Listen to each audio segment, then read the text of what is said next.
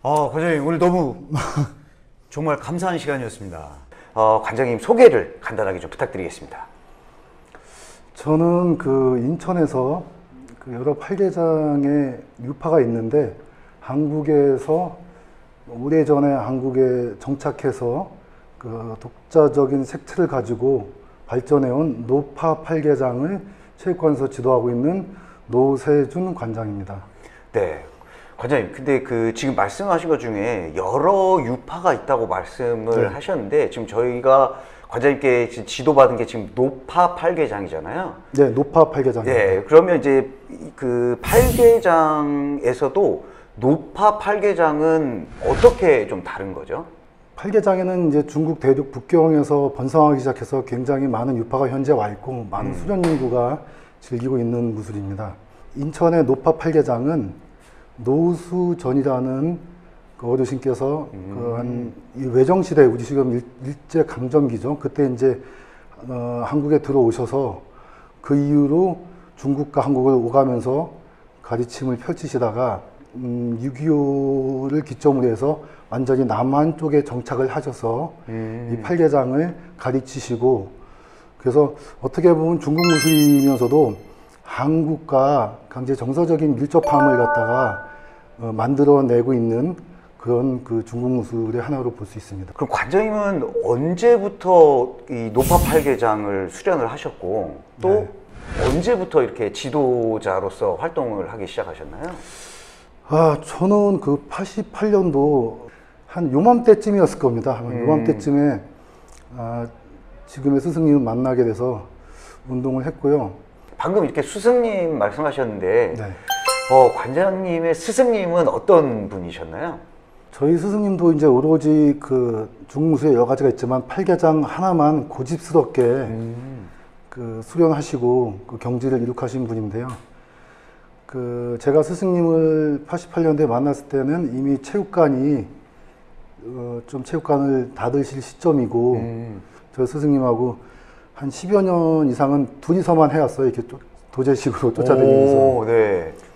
그렇게 하면서 하나하나 배워오면서 현재에 이르렀는데, 아, 저희 스승님은 이제 그 여러 가지 말보다 그 몸놀림으로 어떤 운동이 감, 가지고 있는 그 깊은 그 함이라든지 아니면 진의를 갖다가 몸으로 아니면은 어떤 그 마음대와 마음으로 느끼게 해주는 그런 식의 그 공부를 갖다가 펼치시는 그런 식의 교학을 하시는 분이었죠. 네.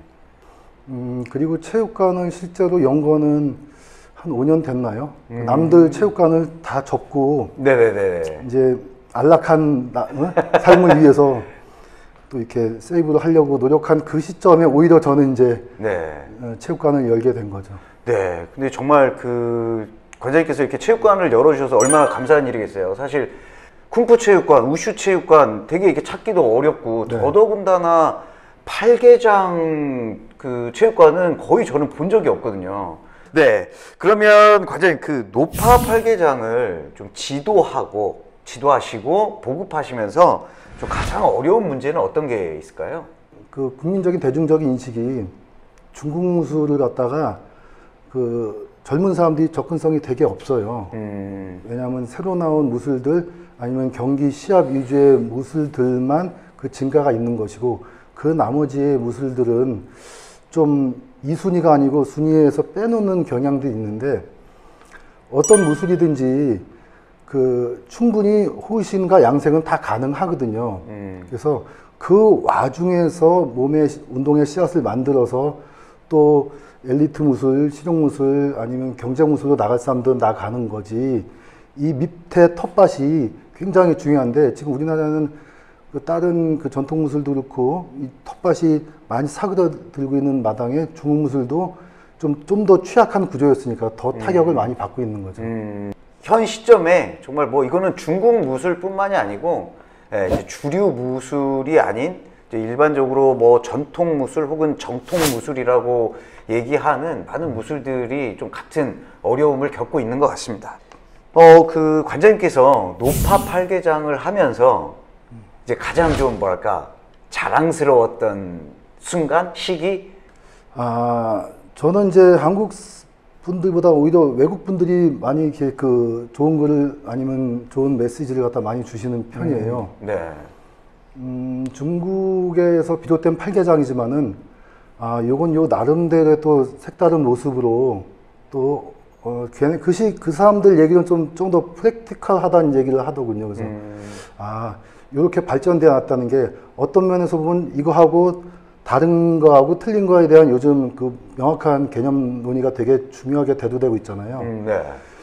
그래서 중국이나 타 팔계장하고 좀 다른 좀 그 같지 않은 모습이 있다고 해서 노파 팔계장이 틀리지 않, 틀린 게 아니고 다르다는 것을 오히려 외국 사람들이 인정해 줄 때 아, 내가 걸어가고 있는 길, 걸어온 길이 헛되지 않구나. 음. 이런 생각을 할 때가 많이 듭니다. 네, 관장님 말씀 중에 틀린 게 아니라 다름을 인정한다. 이거 정말 그 좀 일반화 시켜야 될 만큼 되게 중요한 명제인 것 같아요. 사실 이제 요즘 사회에 좀 만연한 게 나와 다르면 틀렸다라고 네. 보는 시선들이 많은데 좀 그런 부분들은 좀 한 번쯤 생각해 봐야 될 예, 명제 아닌가 이렇게 생각이 됩니다. 노파 팔계장은 나에게 어떤 무엇이다 라고 이렇게 한마디로 정의하신다면 어떻게 정의하실 수 있을까요? 아, 노파 팔계장은 그냥 저 자신입니다.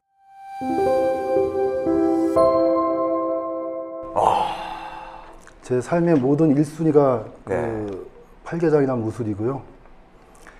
아, 그리고 저는 오히려 이 팔계장 체육관을 하면서 그 전보다 훨씬 더 이렇게 뭐랄까 삶의 상황은 좀 덜 윤택해졌어요. 음, 근데 그 전보다 사실 제 행복도는 더 높아졌거든요. 음, 제가 어, 부유하진 않더라도 더 내 만족도하고 내 행복도가 높아지는 것은 이것이 나의 또 보이지 않는 반려자가 아닌가 이렇게 생각하고 있는 거니까 아, 그 팔계장은 어떻게 보면은 어떨 때는 저 자신보다 소중해요. 어.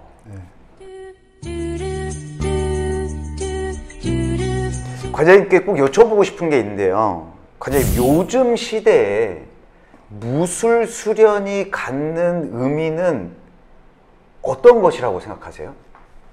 일단은 그 무술은 맨 처음에 출발점은 그 생존과 전투에서 비롯됐지만은 자기 보호 본능에서 근데 현재 와서는 사실은 우리나라 같이 치안이 많이 확립된 나라에서는 무술은 예를 들어서 뭐 그 UFC라든지 어떤 파이터들을 굉장히 숭앙하지만은 실제적으로 그렇게 싸울 수 있는 일은 많지 않을 뿐더러 그리고 우리나라에서는 어 그, 그들을 숭앙하지만은 그렇게 그 시합에 나가려고 다들 운동하지는 않거든요. 음, 물론 무술은 기본적으로 양생은 갖고 있어요. 그리고 호신. 맨 처음에는 양생과 호신하는 목적을 갖고 그 무술을 하지만은 나중에 무술을 하다 보면요. 그 관장님도 동감하실 텐데 어렸을 때는 크고 작은 막 그 몸싸움도 하고 싸움하는데 무술을 많이 하면요. 싸움을 안 하게 돼요. 맞습니다. 아, 굳이 할 일이 없어요. 왜냐하면 네. 자기의 자존감이 올라가면 갈수록 불필요한 싸움을 안 하게 되거든요. 음. 그래서 무술은 굳이 뭐 무술 안에는 마음의 단련도 되니까 무술을 통해서 몸도 단련하지만은 무술을 통해서 나의 자존감을 좀 더 좀저 뭐랄까 긍정적으로 많이 확장시켜서 불필요한 다, 다툼을 없애고 마음의 여유를 가질 수 있는 그런 방편의 하나로도 그 무술이라는 신체 수련이 굉장히 그 한국같이 치열한 경쟁 사회에서는 굉장히 중요한 것으로 보입니다. 아, 네, 정말 좋은 말씀 해 주신 것 같아요. 무술 수련의 가치는 무, 무술 수련을 통해서 자존감을 높일 수 있는 하나의 방편이 될 수 있다. 아, 그럼요. 네네네. 어, 앞으로의 활동 계획은 어떻게 되실까요? 뭐랄까 전국 딴 지방에서도 팔계장을 하고 싶어하는 분들이 계신데 그분들이 올라오기도 힘들고 또 여러 명목가 있어가지고선 아, 여러 가지 그 간접적인 학습을 할 수 있는 경로나 매체들을 갖다가 잘 그 선별하고 채택해서 음, 아마 그 방면으로도 좀 더 노력을 하고 그리고 어, 코로나가 지금 이 상황이 조금 조금 더 풀리면은 아, 그것을 갖다가 따라 거기에 따라서 좀 해외 활동의 폭도 좀 더 적극적으로 이렇게 추진해 나갈까 그렇게 생각합니다. 네. 관장님 혹시 그 더 하시고 싶은 말씀 있으시면 네, 마지막으로 한 말씀 부탁드리겠습니다. 저희 팔계장뿐만 아니라 이게 중국 무술을 갖다가 그 요즘 젊은 층들이 좀 약간은 터부시하는 경향이 있어요. 근데 어, 물론 거기에는 저 같은 지도자들의 어떤 시대 감각을 제대로 못 맞추는 부분도 없잖아 있는 걸 솔직히 인정하고요. 하지만 중국 무술에도 그리고 여러 가지 우리가 생각지 못했던 실제 해보는 거하고 멀리서 피상적인 거 보는 거하고 또 다르거든요. 그래서 좀 오래 해서 지속적으로 그 어떤 어떤 재미와 가치가 계속 창출되는 것도 또 중국 무술이 길게 배우는 건 단점이지만 길게 배울 수 있는 무술들이 생각보다 그다지 많지도 않거든요. 그런 의미에서 본다면은 하나의 호시는 사실은 어느 정도 매년 운동을 하면 일반 사람들은 압도할 정도 호시 능력이 생기잖아요. 근데 문제는 그 뒤가 문제거든요. 그 뒤에 내 인생과 같이 함께 나가야 될 몸과 마음을 닦아나가는 체계의 역할까지 할 수 있는 게 중국 무술이니까 그 점도 유념해 주시면은 굉장히 자기 인생의 어떤 그 부동산이나 이런 유가 재산 말고도 보이지 않는 재산을 하나 얻는 거하고 똑같다고 생각하니까 그런 점에서 중국 무술도 한번 접해 보시는 것이 굉장히 좋을 것 같습니다. 네, 좋습니다. 어, 좋은 말씀 감사합니다. 과장님 혹시 유튜브 활동 지금 하고 계시죠? 네네. 네, 그 유튜브 홍보 좀 부탁드리겠습니다. 채널 홍보. 노파 팔계장 TV라고 있는데 거기다 영상을 조금씩 올리고 있습니다. 네, 여러분들 노파 팔계장 TV. 네, 팔계장에 관심이 있으신 분들, 또 중국 무술에 관심이 있으신 분들은 반드시 구독, 좋아요 해주시면 감사하겠습니다. 네, 관장님 오늘 긴 시간 네, 정말 여러모로 너무 감사한 시간이었고요. 또 만나서 또 배움을 청하도록 하겠습니다. 아 제가 배우러 가겠습니다. 아, 오늘 너무 감사했습니다. 네, 고맙습니다. 감사합니다.